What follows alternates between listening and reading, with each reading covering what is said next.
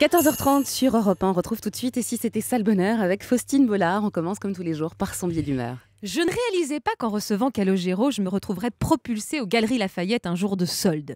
En effet, depuis que sa présence est annoncée ici, je retrouve des soutiens-gorge sur le clavier de mon ordinateur. D'ailleurs, leurs propriétaires sont tellement bouillantes que la neige a fondu dans tout le quartier. C'est pas tout. Hein. J'ai des nouvelles sur Facebook de gens que je n'ai pas recroisés depuis la boum de Julien quand j'étais en CE2. J'ai même reçu quelques messages de personnes qui apprenaient seulement maintenant, grâce à la venue de Calogero, que j'avais une émission sur Europe 1 et qui me félicitaient alors que ça fait 4 ans que je suis là en quotidienne sur cette antenne. Bref, avec sa présence aujourd'hui, mon heure de gloire semble enfin être arrivée.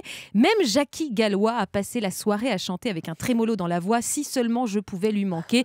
C'est pour vous dire à quel point toute la station est mobilisée. Je me sens donc investie d'une mission d'utilité publique. J'espère que mon invité ne m'en voudra pas, mais je pense que pour le bien de tous, il est urgent de faire redescendre un petit peu cette pression.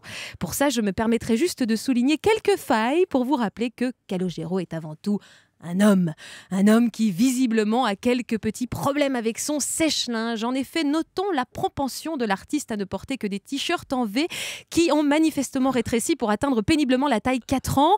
Alors, Jackie, son plus grand fan, vous expliquerait que quand on a un corps défaible, il faut savoir le mettre en valeur. Permettez-moi de douter de l'efficacité de cette technique. À sa décharge, a priori, cette mode est lancée et n'a refroidi personne. Alors, je vais sortir l'artillerie lourde. J'invite les plus hystériques des fidèles de Calais à aller regarder des photos de lui à la période des charts, avec les chemises des musclés la moumoute de José dans Hélène et les garçons, on était quand même plus proche du Laurent Boyer au début de Fréquence Star que du sex symbole de la rue François 1er. Bon, vous êtes toujours pas calmé Ok, c'est donc qu'il n'y a rien à faire. Alors, perdu pour perdu, sachez que je vais beaucoup penser à vous toutes aujourd'hui, mesdames, mesdemoiselles, Jackie, ici dans la pénombre du studio à la lueur des bougies parfumées au jasmin, presque seul au monde pendant ce tête à -tête tellement intime.